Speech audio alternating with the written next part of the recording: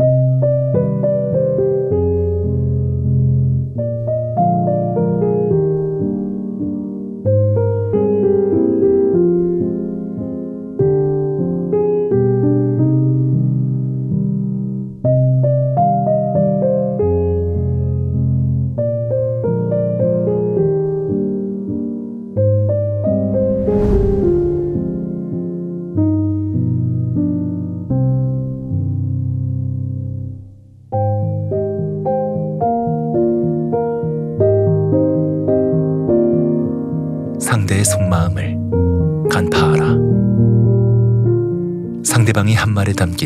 속뜻을 알아내고 이에 대비하라. 교활한 사람들은 빙빙 돌려 말함으로써 상대방의 이해 능력이나 속마음을 간파하려고 한다. 그리고 상대방의 고통을 즐김으로써 이중으로 괴로움을 주기도 한다. 아무리 존경받는 사람이라도 그런 교활한 사람들이 파놓은 함정에 빠지면 마치 거미줄에 걸린 파리처럼 옴짝달싹 못하고 대중에게 잡혀먹힐 수 있다. 그러나 교활한 사람들에게는 똑같은 방법으로 대응해봐야 소용이 없다. 그들은 특유의 둔감함으로 대중의 불만이나 합리적인 비판에도 끄떡하지 않을 강심장을 갖고 있다.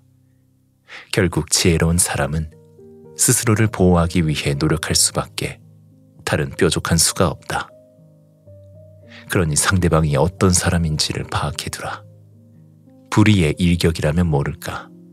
미리 대비하고 있는 사람에게 상처 입힐 수는 없는 법이니까.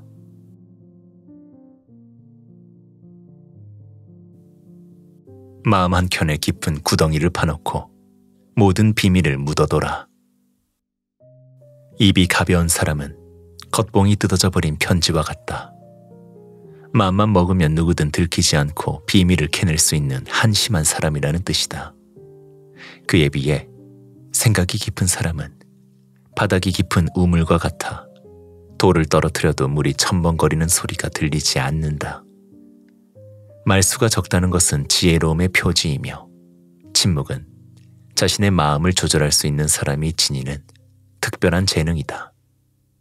마음 한구석에 모든 비밀을 깊이 묻어두는 사람은 진짜 승리자가 될 것이다. 교활하고 사악한 사람은 남의 비밀을 자신을 위해 사용한다. 그들은 상대방이 비밀을 알아내려고 화려한 수사로 칭찬하기도 하고 비난하거나 빈정거리는 것도 서슴치 않는다. 그럴 때 먹잇감이 될 만한 재료를 준비해 던져줌으로써 가장 중요한 비밀을 숨기는 것이 지혜로운 사람이 하는 처신이다.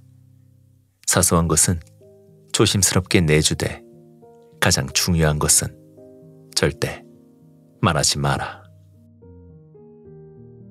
진실일지라도 전부 털어놓지 마라. 거짓말로 사람을 속이려 들지 마라. 처음 몇 번은 먹혀 들어가 긍정적 결과를 얻었다고 해도 그것은 자신이 받은 신뢰를 담보로 얻은 결과라는 점을 간과해서는 안 된다. 대중은 속아 넘어간 사람을 한심한 사람이라고 힐난한다. 반면 속인 자에게는 믿을 수 없는 사람이라는 낙인을 찍는다. 신의가 없는 데다 명예까지 모두 잃어버린 사람과 함께 일하려는 어리석은 자는 세상에 아무도 없다. 그러나 진실을 전부 털어놓는 것이 결코 지혜로운 행동이 될 수는 없다. 진실을 말하는 것은 무척이나 힘든 일이다. 진실은 몸에는 좋지만 먹기 꺼려지는 쓰디쓴 약과 같기 때문이다. 달콤한 말로 치장하지 않으면 진실은 상대의 심장으로 곧장 날아가 굳게 박혀버린다. 진실을 말할 때는 아주 조심스러워야 하며 어떤 경우에라도 사실대로 다 털어놓아서는 안 된다. 그것이 자신과 상대방을 동시에 배려하는 지혜다.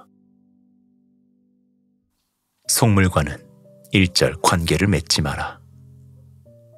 우리는 모두 세상 사람들에 둘러싸여 살아가고 있다. 그 중에는 현명한 사람도 속물도 모두 함께 어울려 생활한다. 그러나 속물들은 분별력 없는 말을 자주 하고 매사에 잘난 체까지 하는 데다 대부분 옹졸하다. 이런 부류의 사람들과는 일절 관계를 맺지 않는 것이 상책이다. 이런 사람들에 둘러싸여 흔들리다 보면 당신의 평판에 금이 가게 된다. 그러므로 이러한 성물과 어울릴 바에는 차라리 관계를 절대로 맺지 않도록 하라. 이러한 속물들의 해악은 그 한 사람으로 충분하기 때문이다. 그가 무슨 말을 하든 듣지도 보지도 말며 무슨 생각을 하는지 염두에 두지도 마라. 속내를 드러내지 않는 사람을 경계하라. 치밀한 사람은 상대방의 정신을 다른 데로 돌려놓고 그 틈을 타 공격해 들어간다. 적이 불의의 습격을 받아 허둥거리고 있을 때 일거에 소탕해 버리는 것이다. 그런 사람은 자신이 바라는 것을 손안에 넣으려고 본심을 애써 감춘다. 높은 자리에 앉으려는 속내를 숨기고 낮은 직위도 달갑게 받아들인다. 숨겨진 의도를 알아채지 못하면 그 음모는 보기 좋게 성공을 거둔다. 상대가 남모르게 음모를 꾸미고 있는 이상 이쪽에서도 경계를 게을리해서는 안 된다. 지혜로운 사람은 자신의 의도를 드러내지 않는 사람에게 주의를 기울인다. 아주 조심스럽게 음모를 파악하려고 노력하는 것이다. 목적이 있으면 기척이 드러내게 마련 아닌가. 교활한 사람은 자신의 말 속에 의도를 깊이 감추는 재주를 가지고 있다. 말로는 상대를 안심시키지만 행동은 다르게 한다. 때로 교활한 인간은 남의 눈을 속이려 하다가 자신의 음모에 빠져 자멸하는 경우도 있다. 하지만 지혜로운 사람은 어떤 때라도 방비를 단단히 함으로써 언제 닥칠지 모르는 기습에 대비한다. 지혜로운 사람은 상대가 양보해 올 때에도 조심한다. 상대방의 음모를 꿰뚫어 보거나 훤히 다 알고 있다는 태도를 보이는 것도 적의 시도를 미리 방지할 수 있는 좋은 수단이 될 수 있다. 기대 심리를 높이지 마라. 일을 시작할 때 사람들의 기대 심리를 지나치게 높이지 마라. 실제 일을 하다 보면 뜻밖의 장애물을 만나 고전하는 경우가 있다. 이렇듯 현실과 생각의 괴리는 매우 넓고 깊다. 우리가 이러한 함정에 빠지는 이유는 자신을 좀 더 높이 평가하고 싶은 욕망에 사로잡혀 현실을 직시하지 못해서다. 다행히 긍정적 결과를 얻었다고 해도 예상에 미치지 못하면 사람들은 실망한다. 그러므로 시작이 순조롭다고 해서 결과를 예단하고 사람들의 기대 심리를 높여놓는 것은 결코 현명한 태도가 아니다. 기대가 낮을수록 성공을 거두면 의외로 놀라는 사람이 많고 성과를 이루어낸 그 사람은 인정을 받는다. 반면에 최악의 사태를 대비하는 것은 다른 사람의 기대 심리를 낮춰두는 일만큼 중요하다. 미리 지적하고 대비한 사람은 잘못된 결과가 나왔을 때 능력 있는 사람으로 대접받고 칭송을 듣는다. 내면을 보도록 노력하라. 우리는 흔히 첫인상으로 상대의 유무능을 판단한다. 하지만 중요한 것은 겉모습이 아니라 내면에 감춰져 있는 경우가 많다. 그 중에서도 보석과 같이 소중한 것은 겉으로 잘 드러나지 않는다. 겉모습에 현혹되지 마라.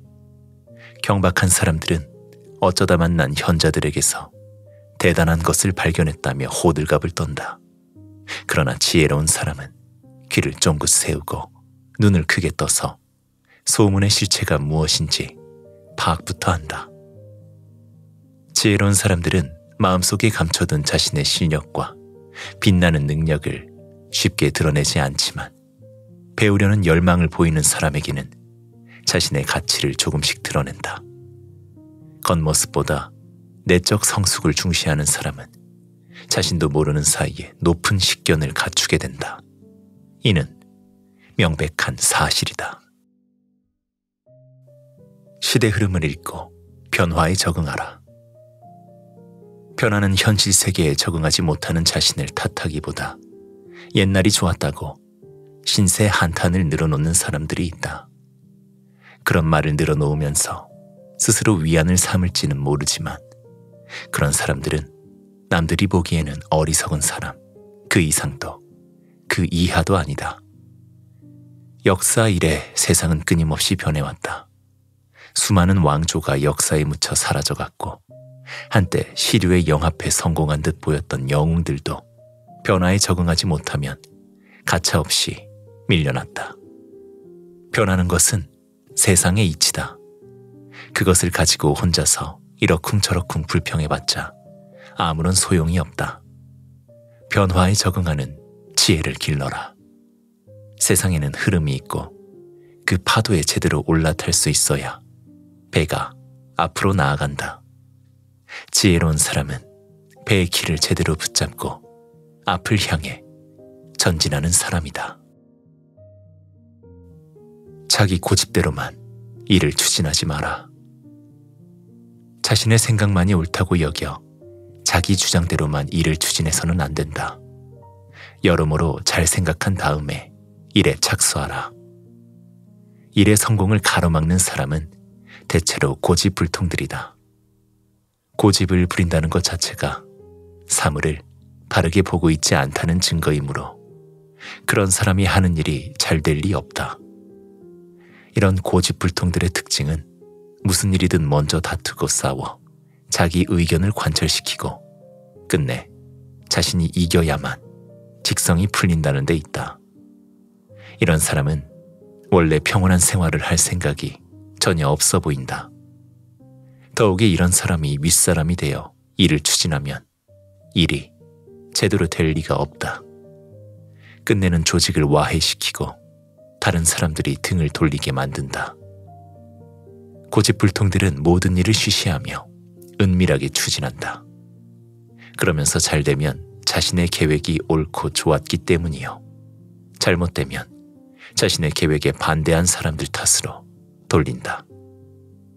그에게는 상관하지 않는다. 지혜로운 사람이 남의 조언에 항상 귀를 기울이는 것은 고집불통들이 범하는 오류를 제대로 이해하기 때문이다. 첫 번째 기회에 올인하지 마라. 주사위를 한 번 던져 가장 좋은 결과가 나오기를 바라는 것은 멍청한 짓이다. 그런데도 사람들은 종종 자신의 운을 과신하며 그런 일을 저지른다. 하지만 모든 것을 잃은 뒤에 후회해봤자 아무런 소용이 없다. 연습도 없이 처음으로 시도하는 일에서 최상의 결과를 얻는다는 것은 불가능에 가깝다. 기회를 잡으려면 첫 번째에 모든 것을 걸지 말고 그 다음을 노려라. 첫 번째에 덤벼들어 실패한 사람은 의욕을 잃고 다시 도전할 힘을 잃으며 성공한 사람은 자만하느라 두 번째 기회를 쉽게 포기해버린다. 무슨 일이든 방법을 바꾸어서 만회할 예비 수단을 준비해둬라. 성공 여부는 주위의 여러 상황에 따라 좌우되는 것이지 운에 의해 이루어지는 것이 아니다. 성과는 남들이 자연스럽게 알도록 꾸며라. 실제로 훌륭한 일을 이룬 사람보다도 남들 눈에 훌륭해 보이는 일을 한 사람이 더욱 인정받는다. 때문에 열심히 노력하는 것 못지않게 남들에게 과시할 방법을 아는 건 역시 중요하다. 보이지 않는 성과는 이루지 못한 일과 다름없다. 아무리 지혜로운 사람이라도 겉으로 그럴듯해 보이지 않으면 누구도 존경심을 표시하지 않는다. 세상에는 겉모습만을 보고 속아 넘어가는 신중하지 못한 사람이 많기 때문이다. 정말 대단한 업적이라면 남들이 자연스럽게 알도록 꾸며라. 성공을 과시하고 싶다면 사람들이 보는 앞에서 일을 실행하라. 잘 벼린 칼날의 위력은 상대를 단숨에 베어 쓰러뜨릴 때 널리 알려지는 법이다. 겸손과 예의, 성공하는 사람의 제1덕목이다. 사람을 대하는 가장 좋은 방법은 겸손한 태도와 예의 바른 행동이다. 가끔은 약삭 바른 계략을 써서 효과를 볼 수도 있으나 이것이 밝혀지면 상대방은 배신감을 느끼고 계략을 쓴 사람은 두 배로 의심을 받게 된다. 속임수가 드러나면 불신을 불러오고 마음을 상하게 하며 복수심까지 생겨나게 한다는 점을 잊어서는 안 된다. 술책을 쓸 때는 상대에게 들키지 않도록 하라. 의심이 많은 사람에게는 되도록 계략을 쓰지 마라. 속지 않겠다고 단단히 마음먹는 사람일수록 속이기 쉽다. 그러나 나중에라도 밝혀지면 누구보다 더 크게 원망한다. 목표를 설정하고 열정으로 도전하라. 다른 사람의 성과를 놓고 칭찬만 하는 사람들이 있다. 이런 이들은 아, 저 사람은 정말 대단해. 나는 결코 그 일을 하지 못할 거야. 라든가. 아, 난 정말 저 사람을 닮고 싶은데 어렵지 않을까? 라는 말을 되뇌고 다닌다. 이 어리석은 자들은 남이 이루어 놓은 성과를 잣대로 자신을 재단하고 있기 때문에 결코 성공할 수 없다. 다른 사람이 이루어낸 성취가 어떠한지는 그다지 중요한 문제가 아니기 때문이다. 자신의 목표가 무엇인지 제대로 파악하고 목표에 다다를 수 있는 계획을 분명하게 설정하라. 그리고 이를 위해 노력하면 반드시 좋은 결과를 얻게 된다. 이리저리 곁눈질 해봐야 눈은 비뚤어질 뿐이다. 자신의 판단력을 믿지 못하는 사람은 제대로 된 결정을 내릴 수 없다. 남을 닮으려고 애쓰지 마라. 자존심마저 잃게 된다. 부족하고 모자란 듯 보여도 스스로 결단을 내릴 줄 아는 사람이 성공한다. 항상 겸손한 태도를 유지하라. 동등하거나 낮은 지위에서 같이 일할 때는 친절하고 간이라도 내어줄 듯 싹싹하게 굴다가도 지위가 높아지면 안하 무인이 되는 사람이 있다. 존경받고 싶다면 절대로 이렇게 행동해서는 안 된다. 오만하고 비인간적인 태도를 보이는 사람은 지위가 낮아지기 무섭게 모든 이로부터 물어뜯기게 된다. 상대방에게 호감 사는 방법을 알면서도 미움을 받게 행동하는 사람은 어리석다고 밖에는 말할 수 없다. 그들은 마치 지위가 자신의 전부인 듯 여러모로 멍청한 행동을 한다. 세상이란 이름의 바다는 인간의 머리로는 전부 파악할 수 없는 큰 파도를 품속 깊이 감추고 있다는 사실을 잊어서는 안 된다. 지혜로운 사람이 되고자 한다면 항상 조심스럽고 겸손한 태도를 유지해야 한다. 존경심은 스스로 자라나도록 내버려 두어야지. 강요한다고 생겨나지는 않는다. 농담, 때와 장소를 가려하라. 위트가 넘치는 것은 좋은 일이지만 그렇다고 농담으로 일관하지는 마라. 연회에서 농담과 재담을 늘어놓는 사람은 주변의 이목을 끈다. 그렇다고 때와 장소를 가리지 않고 지나친 재담을 늘어놓는 사람은 비천한 사람으로 취급받을 수 있다. 고급스럽고 재치 있는 촌철살이는 사람들을 웃게 하지만 저급한 농담은 그저 웃음거리가 될 뿐이다. 농담을 지나치게 늘어놓는 사람이 신뢰받지 못하는 큰 이유는 진실과 거짓의 경계를 흐려놓기 때문이다. 평소 분별력 없는 말을 늘어놓던 사람이 정색하고 진실을 말한다 해도 신뢰를 받기가 어렵다. 그에 비해 진지한 태도로 남의 말을 경청하는 사람이 조크를 던지면 주변 사람들의 주목을 받게 되고 그래서 그 말은 신빙성 있게 들리게 된다.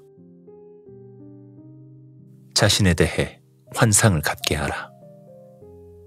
마음속에 있는 생각을 전부 밖으로 드러내고 다녀서는 안 된다. 지혜로운 사람은 자신을 알리면서도 자신의 생각은 전부 헤아릴 수 없게 만든다. 누구도 지혜로운 사람의 능력이 어디까지인지 알지 못하게 하려고 하는 것이다. 손바닥을 들여다보듯 훤히 자신의 능력을 알리고 움직인다면 기대하고 바랄 여지가 어디에 있겠는가. 쓸데없이 자신을 드러내는 것은 그만큼 실망의 단초를 제공하는 행동이 될 뿐이다. 남들에게 적절한 환상을 심어주면 긍정적 평판과 명성을 얻는데 도움이 된다. 호감을 주는 사람이 되라. 남들과 다투는 것은 상대가 누구든지 간에 좋은 징조가 아니다. 특히 상대가 경쟁자라면 더욱 그렇다. 경쟁자와 싸우면 제 아무리 좋았던 이미지도 금세 잃어버리게 된다. 싸움이 시작되면 상대는 곧바로 이쪽의 결점을 찾아내어 소문내므로써 이쪽의 신용을 떨어뜨리려고 한다. 다툼이란 의뢰 그런 것이다. 보통은 너그러이 보아 넘길 결점이라도 상대는 결코 그냥 보아 넘기지 않는다. 명성이 높던 사람이 저기 퍼뜨린 소문에 꺾여버린 사례는 수없이 많다. 약점과 잘못, 그리고 실수를 폭로하면서 시작된 싸움은 처음엔 작은 불꽃처럼 미약해 보이지만 훨훨 타오르기 시작하면 한도 끝도 없다. 일단 구르기 시작한 돌을 멈추게 하는데 더 큰 힘이 필요한 것과 같은 이치다. 상대는 사람의 감정을 해칠 뿐 아무런 이득도 돌아오지 않음에도 안갚음을 했다는데 만족감을 느낀다. 상대방과 다투어 그 사람의 복수심을 일깨운다면 잊혔던 결점까지 하나하나 노출된다. 하지만 상대방에게 호의를 보인다면 싸우는 일 따위는 일어나지 않을 뿐더러 명성에 금이 갈 일도 없을 것이다.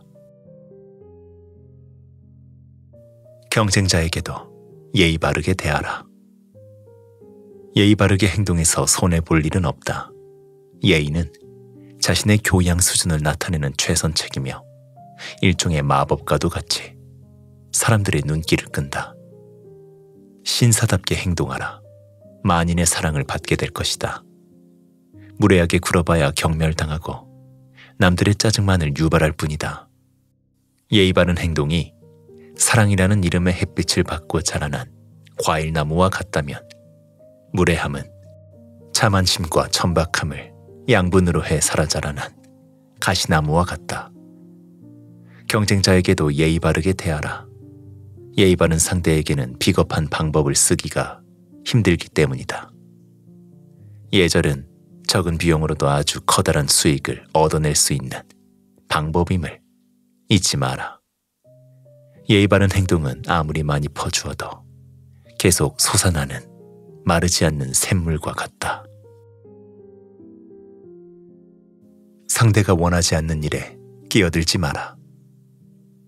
아무데나 끼어들기를 좋아하고 남을 비방하고 싸움을 즐기는 사람들이 있다. 이런 사람들은 특별히 바쁜 일이 없지만 분주해 보이고 항상 뭔가를 꾸미는 것처럼 보인다. 이들에게 말려들어 의미 없는 일에 가담하는 것은 어리석은 짓이다. 이들의 불평을 듣는 것이 불쾌하고 귀찮더라도 가급적 가볍게 생각하는 습관을 들여라.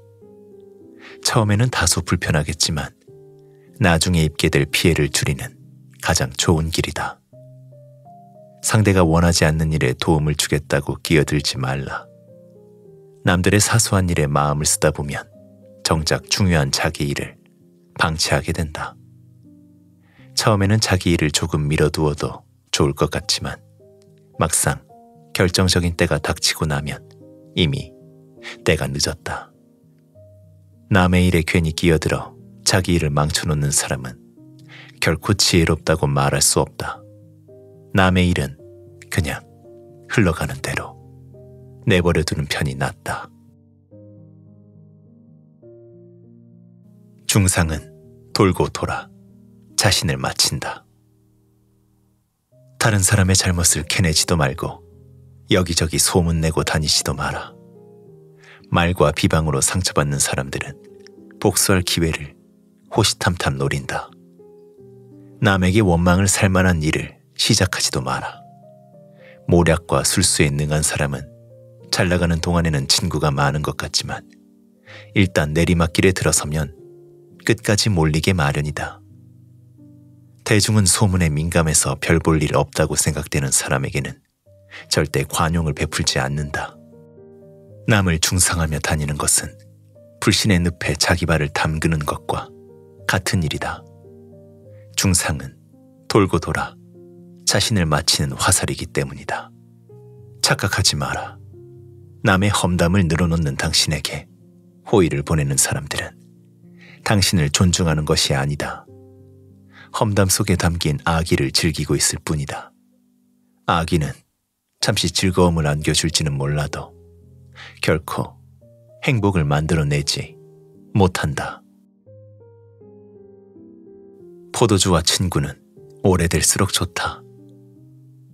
친구를 사귀는데도 기술과 배려가 필요하다. 곁에 있어 도움이 되는 친구가 있는가 하면 멀리 떨어져 편지를 주고받음으로써 마음이 통하는 친구가 있다. 말이 잘 통해 함께 무엇인가를 함으로써 즐거움을 나눌 수 있는 친구가 있는가 하면 오래도록 떨어져 있어도 믿음으로 다가오는 친구도 있다. 이렇듯 우정의 방식은 모두가 똑같지 않다. 친구가 인생에서 몇 안 되는 소중한 후원자임을 부정하는 사람은 없다. 그러나 좋은 우정을 유지하는 방법을 아는 사람은 많지 않다. 우정을 유지하는데 가장 중요한 것은 상대의 장점을 끌어낼 수 있느냐 하는 것이다. 친구의 장점을 북돋아 키워주면 그 보답으로 친구 또한 당신을 성장시키는데 큰 역할을 담당하게 된다.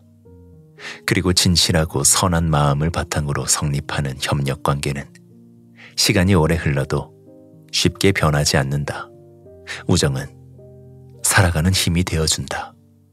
친구가 없는 삶은 버려진 황무지와 같이 척박한 인생이 되기 마련이다. 부족해 보이더라도 한결같은 지지를 보낼 수 있는 사람을 친구로 삼아라. 술과 마찬가지로 우정도 오래 묵을수록 훌륭한 향기를 머금는다. 위선은 진실보다 앞서서 나타난다. 그럴듯한 겉모습에 속지 마라. 진실은 언제나 한 걸음 뒤쳐져 나타난다. 지혜로운 사람이 평범한 사람들과 다른 점은 사물을 꿰뚫어 볼 줄 아는 통찰력을 가졌다는 것이다. 사물은 통상 뒷면과 앞면이 다르다. 드러나는 모습에만 정신이 쏠려 눈에 보이지 않는 내막을 꿰뚫어 보지 못하면 나중에 곤란을 겪게 된다. 어리석은 사람은 겉으로는 그럴듯해 보이지만 쉽게 깨어지는 유리와 같다. 이런 사람은 심성이 눈동자처럼 자극이 약하기 때문에 사소한 일에도 상처를 쉽게 받아 어떤 관계도 제대로 유지하지 못한다. 그런 사람들과 친분을 쌓을 때는 아주 조심스러울 필요가 있다. 언제나 그들의 유약함을 고려하고 표정도 살펴라. 작은 불쾌함도 그들의 기분을 상하게 할 수 있다.